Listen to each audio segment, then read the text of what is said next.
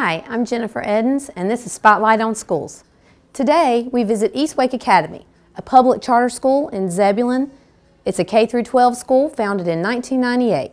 Here, the teachers are implementing a new strategy for student learning. It's called Flipping the Classroom.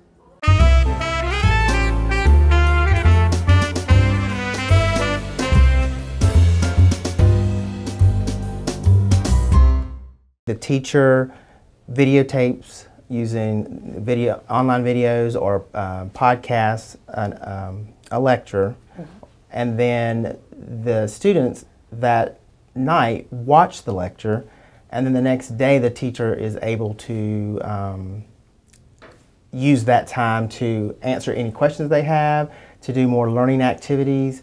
Um, it frees up their time to be more one-on-one -on -one with the student rather than just standing there lecturing.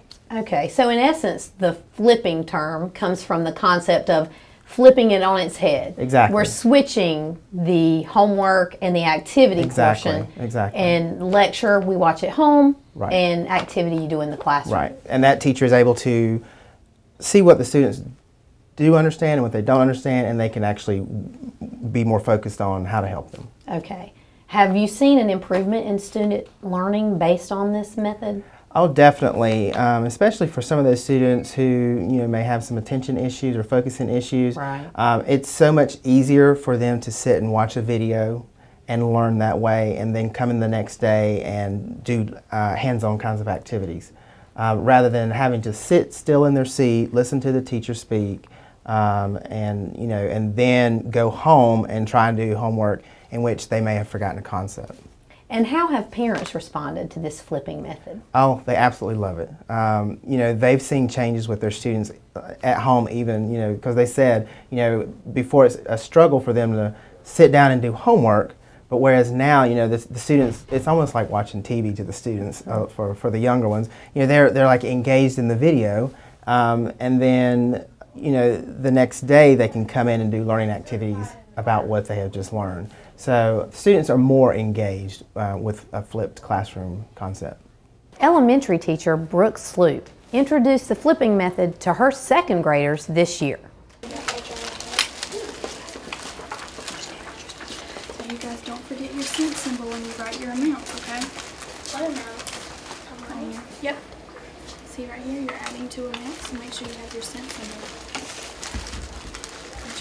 The students love it because they get that background knowledge and they come to class ready to jump into hands-on activities. And the parents love it. They get a good look at what we are doing and they can better help their kids at home. Do you like learning math at home? Mm -hmm. What do you like about it?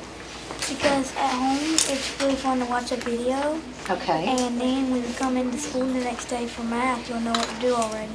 Right, that's awesome. Good job.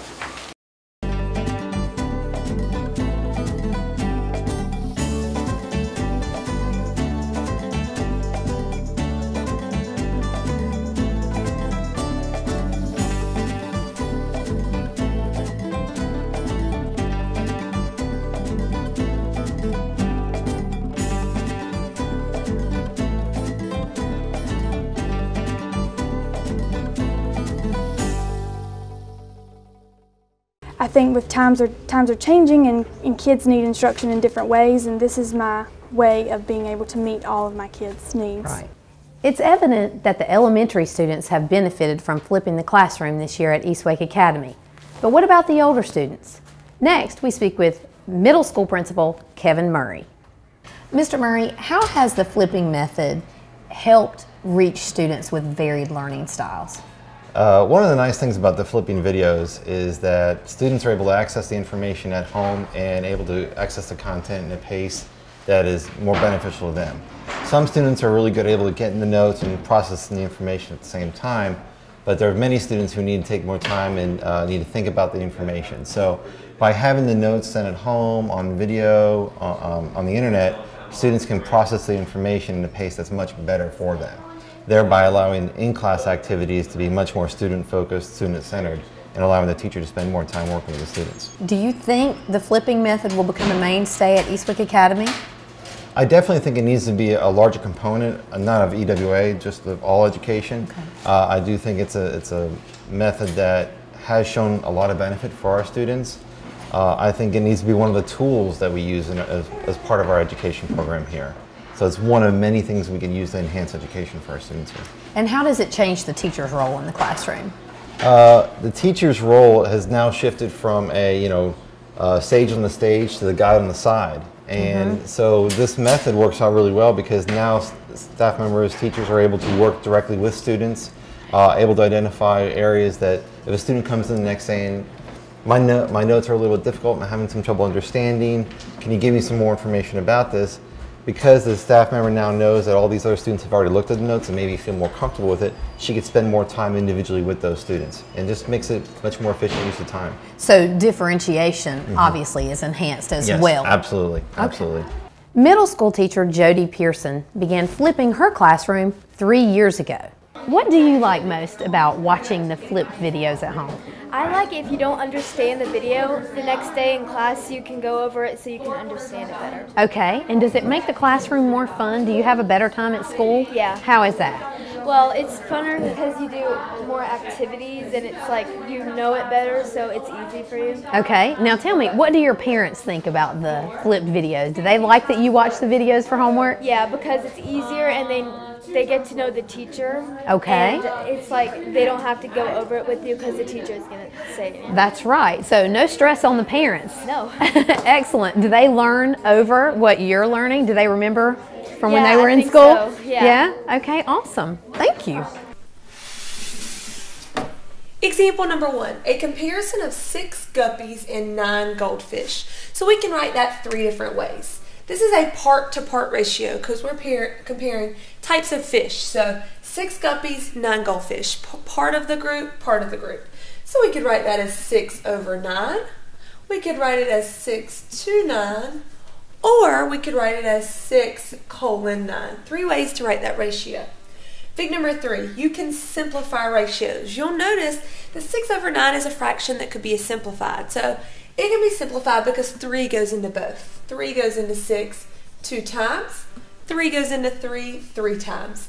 We can take that ratio of 6 guppies to 9 goldfish and change it to 2 guppies to 3 goldfish. So 2 to 3, 2 over 3, 2 to 3, and 2 colon 3. Ms. Pearson, how has this method enhanced your ability to help your students? It has helped tremendously.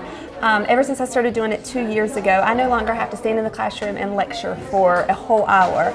Um, before, I was lecturing for most of the time, and I'd plan all these great activities, but we'd run out of time because I'm lecturing the whole time. So now that I'm flipping, they watch the video at home the night before. Right. Um, when they come in class, I don't have to talk. We just immediately go and start doing um, activities, and then I can work with the students more one-on-one um, that need the help. So it's just totally changed the dynamic of the classroom. That's excellent. And you know by talking to them who has what question and who's struggling and who has it. Yes, normally what I'll do is I'll give them some sort of formative assessment um, to determine where what they learned from the video the previous night. Right. Um, and depending on how well they do on that determines what they do for the day.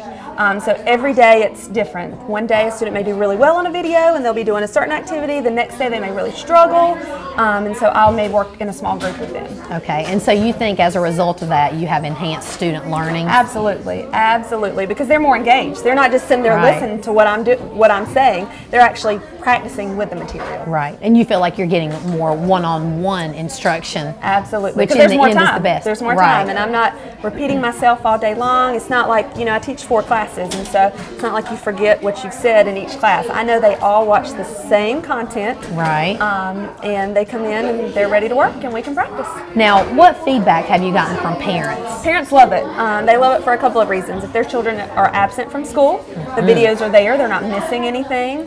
Um, they also love it because if they usually help their child with their homework, they sometimes start struggling with sixth grade math, and so the parents watch the videos as well to help their to help their kids, and they just like it. The kids can go back and review and study before a test. Um, it's just an extra resource, and the kids are excited about coming to class because they get to do fun things.